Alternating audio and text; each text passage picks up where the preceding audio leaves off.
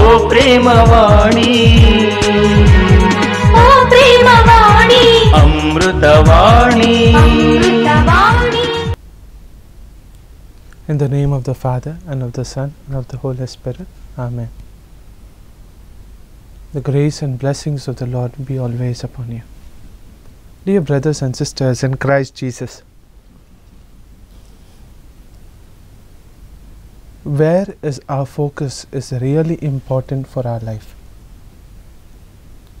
Today, the Sadducees come to Jesus and ask him a question if a woman has married again and again for five times. Basically, they are not worried about the morality or immorality of the act because, according to the law of Moses, if a person dies without giving uh, heir to his wife, then the brother takes up the responsibility and it's not illegal according to them. So, therefore, a woman goes into five people, five brothers, and then five of them are not able to give her a child. The five die, the woman dies. And now, if you say there is afterlife, the Sadducee is challenging Jesus because the Sadducee doesn't believe in afterlife. The Sadducee says, if you say there is afterlife, then whose wife is she in the afterlife? Of the first, second, or third, the fourth, the fifth? Whose wife is she? He asks.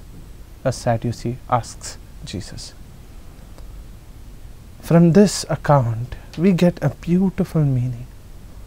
The Sadducee is not worried about the character, the dignity of the woman. He is only worried about putting Jesus down.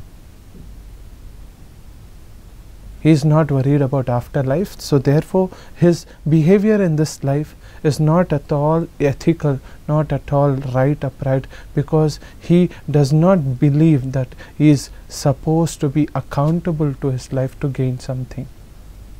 The same sort of behavior also is seen in the first reading from Antiochus Epiphanes, the king of Greeks, the Greek king, who seized Jerusalem, who in these past days we have seen in the first reading had done a lot of wrong against the Jewish people. And now what he says, he is somewhere stationed in Persia, and then a report comes to him saying that all his army in Jerusalem has lost.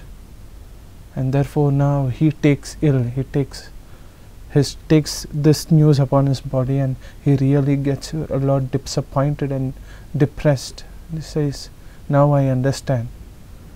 I have gone against God, I have gone against God's people, therefore all this is happening to me. So, dear brothers and sisters, our actions, if it takes heaven into account, will be different with those actions which really are taken basically based upon our desires of this world, our desires, our passions, our pleasures.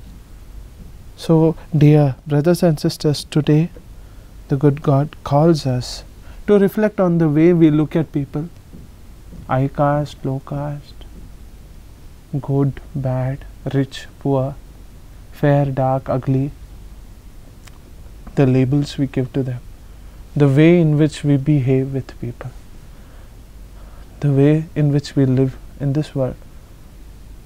If we really have heaven in our eyes, then the color will not be seen, the caste will not be seen, the creed will not be seen, the group will not be seen.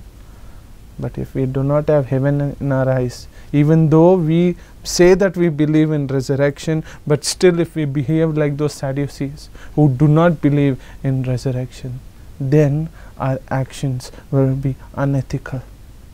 So let's look at ourselves, dear brothers and sisters, and ask Lord for this grace. Eternal Father God, we thank you and praise you, wonderful Master.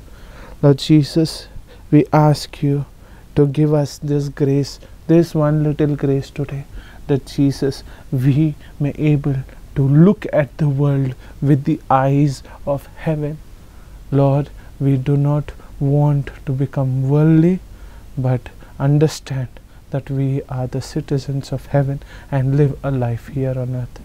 Lord Jesus, let nothing come between us and you, and we may live a life so well that we may reach you one day. We make this prayer through Christ our Lord.